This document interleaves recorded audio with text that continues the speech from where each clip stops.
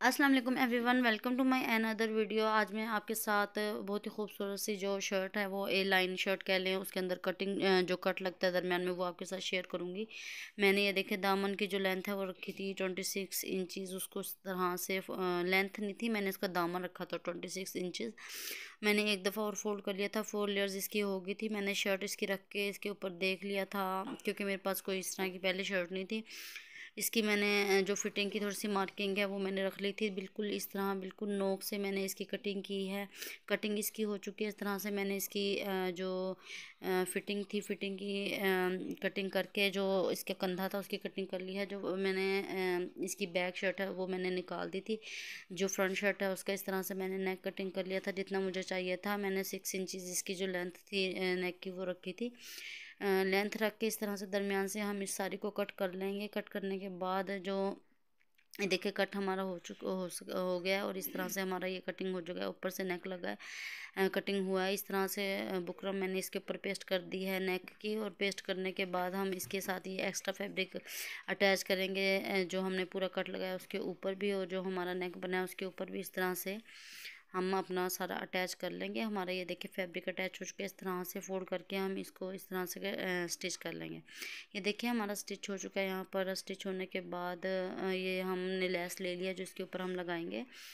इस तरह से हमने ये लेस ये नो के ऊपर से इस तरह टर्न कर लेंगे। हम बिल्कुल इस तरह से हमने साथ साथ लेस लगानी है। ये मेरी शटर लेस बारीक थी, इसलिए हम इसकी डबल लेस लगाएँगे ताकि इसका बॉर्डर प्यारा बन जाए। इस तरह से अब दूसरी लेस को बिल्कुल इसके साथ साथ रखेंगे। हम इस तरह से अटैच कर लेंगे। नोक के बिल्कुल इस तरह साथ हमने ये रख के लगानी है। इस तरह से इसकी भी नोक बन जाएगी। बहुत ही खूबसूरत लग रही थी ये लेस। इस तरह से डबल लगी हुई। इस तरह से ये लेस हम सारी अटैच कर लेंगे। ये देखिए हमारी सारी लेस अटैच हो चुकी है।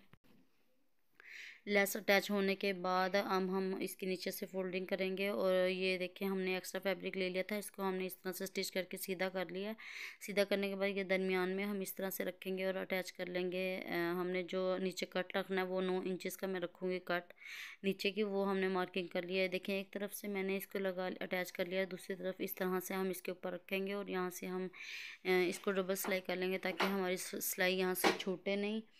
यहाँ से हम इसको डबल सिलाई कर लिए हैं। ये देखें करके हम इस साड़ी को इस तरह साथ साथ रखेंगे बिल्कुल ताकि इसमें गैप ना हो। साथ साथ रख के हम इसको इस तरह से स्टिच कर लेंगे जिस तरह से हमने दूसरी साइड की स्टिचिंग की है। बहुत ही आसानी से हमारी ये जो शर्ट है ए, लाइन शर्ट है ये अटैच हो जाती है। अच्छा नीचे से हम इस तरह से वो जो फैब्रिक है एक दफ़ा और फोल्ड कर देंगे ताकि इस ये इसकी सिलाइयाँ नहीं छूटें। तो हम नीचे तक इस स्टिचिंग को ले जाएँगे साड़ी को।